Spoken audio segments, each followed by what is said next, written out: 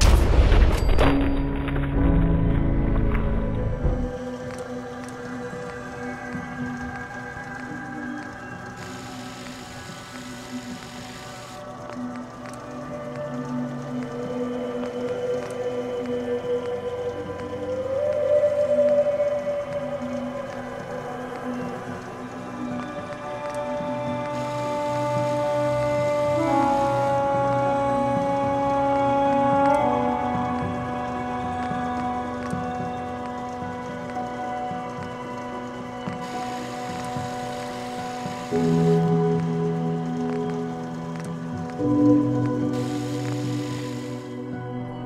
is bullshit.